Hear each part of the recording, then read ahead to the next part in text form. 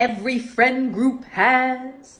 I will win the knife fight by bringing more knives. I will win the knife fight by bringing a large gun.